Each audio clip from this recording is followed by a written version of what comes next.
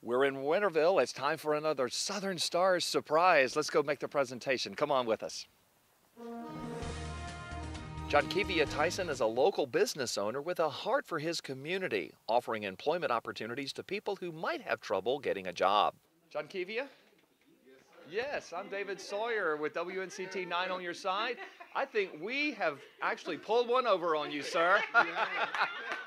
Johnkevia, you are a Southern star. What do you think? That is awesome.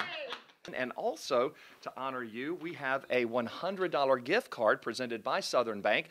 Again, just as a way of saying how how blessed we are to have you as a Southern Star in Eastern Carolina. He just has a heart for people. Mm-hmm. I mean, he's willing to help anybody. It doesn't matter who you are.